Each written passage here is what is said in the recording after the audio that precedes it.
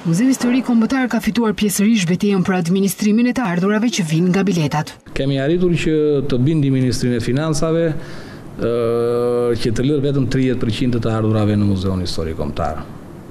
Mund ta quaj një sukses, por jo i mjaftueshëm.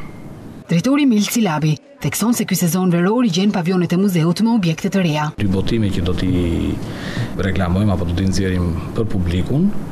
Gjithashtu kemi bërë një jemi munduar të bëjmë një rregullim dhe një sistemim të pavionit të luftës dhe të pavionit të arkeologjisë apo të lashtësisë. Ndërkohë, Në muze kanë nisur dhe përgatitjet për Javën e Filmit Kinez, i cili starton në pesëmbëdhjetë korrik. Do të hapet me Zodiakun Kinez, është një film me regjisor Jackie Chan. Filmi i fundit do të jetë Mbreti Majmun. Do të jenë të gjithë filmat në mbasdite në sallën UNESCO të Muzeut Historik Kombëtar, ku do të shfaqen falas për të gjithë për të gjithë artdashësit edhe dashuruesit e kulturës apo të artit kinez. Bashkëpunimi me Kinën në fushën kulturore për drejtorin Melsi Labi Është një mundësi e mirë për të thelluar marrëdhëniet mes dy shteteve.